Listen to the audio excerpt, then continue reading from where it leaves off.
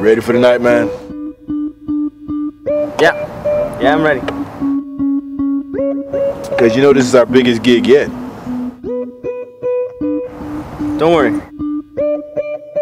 It's gonna go smoothly.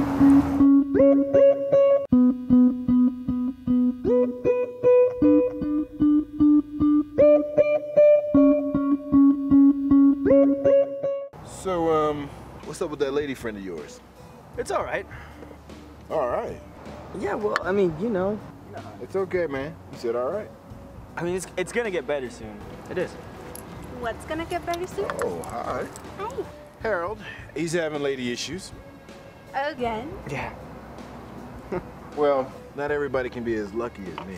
I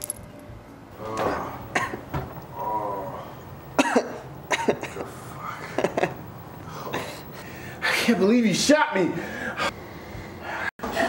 You just killed our business. All you fucking care about is your fucking business. What was it? Was it about the money? Fuck you. Fuck your money. Fuck those two fucking assholes over there. No, man. I, I had it all worked out. I could have got you anything. Anything you wanted, I could have got for you.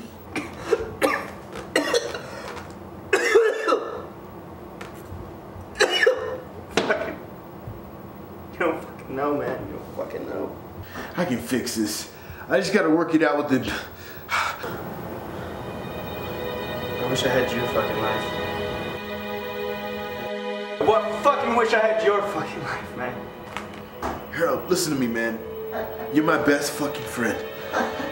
Fuck you! Shut the fuck up, friends! Friends? You fucking talk about friends? Fuck you, man. You don't fucking know. Oh, fuck you! You shot me, man.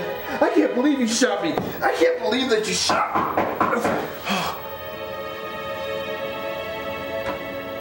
Hey, babe! Candy?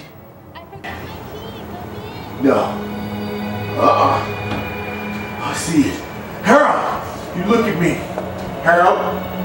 Harold! You better look at me, motherfucker. You're my best friend, but you better look at me.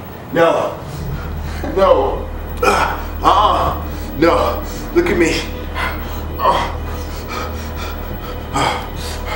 No, you better look at No. No. Fuck you. What? Fuck this shit.